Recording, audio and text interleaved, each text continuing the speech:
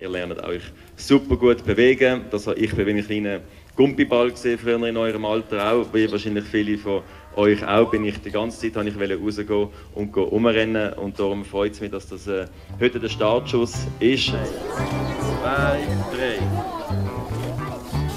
Jawohl.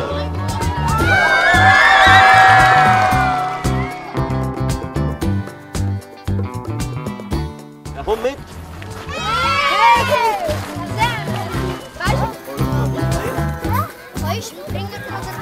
Äh, Heugentrum.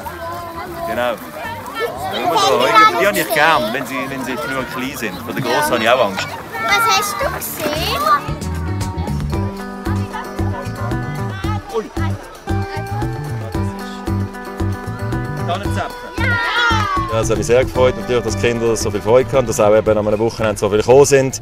Klar, manche werden sagen, ja gut, wenn der Feder kommt, dann äh, ist es logisch, dass wir da sind, aber es ist natürlich nie, weiß nie genau, was zu erwarten ist und vor allem auch, was mich gefreut ist, natürlich eben auch von den ganzen Lehrpersonen und eben von der Schule und der Gemeinde, einfach zum sehen, dass eigentlich rundum wirklich alle glücklich sind, dass wir so in der Mannschaft eigentlich innen etwas können kreieren können.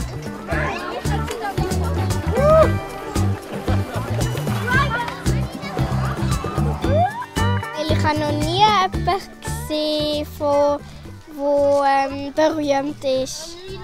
Er war ja einer der erfolgreichsten Sportler und ich konnte es kaum glauben, dass er mir die Hand gegeben hat.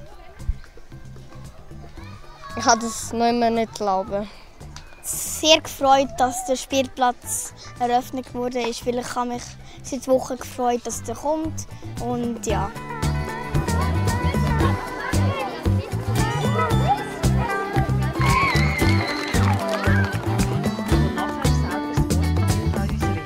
Jetzt wirklich einfach Platz, um sich zu vertun und sie nutzen es auch. Und es freut mich riesig für sie und ich habe das Gefühl, sie sind auch sehr dankbar. Schön in der Innerschweiz zu sein, genau. Zentralschweiz habe ich, äh, hier im Lido habe ich noch Zentralschweizer Meisterschaften gespielt. Ich weiß nicht, ob ich jemals gewonnen habe. Ich habe immer das Gefühl, ich habe verloren. Gehabt.